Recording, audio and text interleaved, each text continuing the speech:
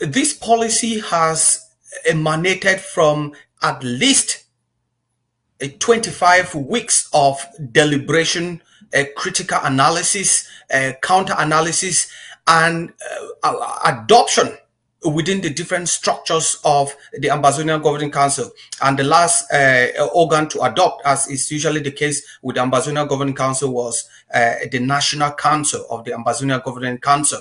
But also, I would like to thank the policy chief and uh, the policy team within the organization. I think that is one of the biggest working departments that they only work in the background and then the president, the vice president, all of us come forward to take credit for it, but the real workers are uh, behind the scenes.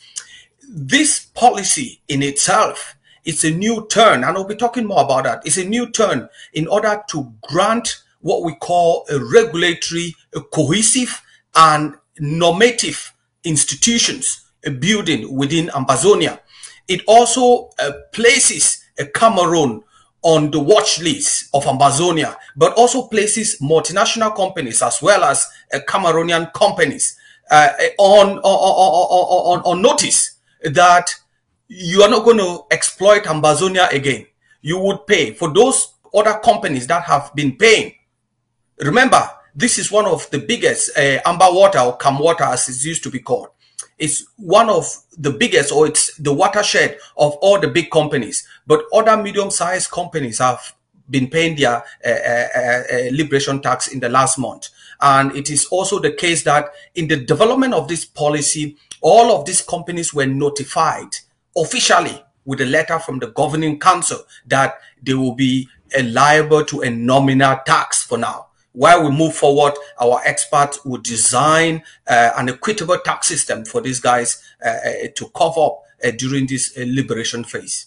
This liberation tax has emanated from a series of discussions, a series of meetings, both within and uh, within the Ambazonia Governing Council and beyond with our sister forces and other sister organizations without going into much detail this tax is not only going to benefit the Ambazonia Governing Council, but other sister forces and other independent forces that are truly fighting for the liberation of Ambazonia. But it is the case that when you pay the tax, you have to report whether you pay to a sister force. There's a single mechanism whereby you pay that tax. And we think coming up with this policy, we have evaluated our systems. We've evaluated our posture, where Ambazonia is, and we've realized that we can and we have implemented uh, a, a, trial ba- on, on a trial basis this tax uh, for the last uh, two months. And it is time now to uh, fully implement it. And I, I, I, would urge all multinationals to be binding. It is also a signal to big companies earning at least 20 million a year to understand that you cannot exploit Ambazonian resources and pay them to Cameroon to use to buy weapons in order to commit atrocities, genocide in Ambazonia. They have been reaping huge profits in Ambazonia and paying their taxes to Cameroon. It is time for them to pay their taxes to the rightful owner of the land that they exploit to the rightful owner of those who pay their bills to them or those who consume their products and services. We are going to enlarge this. We've contacted the first 100 companies and supply them with their official letters to cover.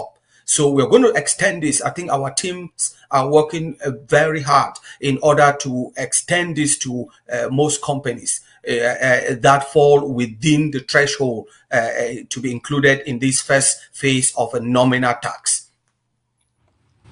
I would like to make an announcement here to the Ambazonian people.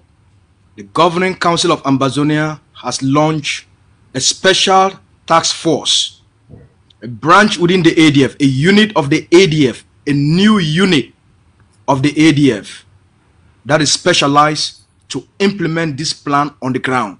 It's a new force. It's a new unit. It has been empowered and mandated to implement this policy on the territory. That the, that's the announcement for today. Let's move on, Mr.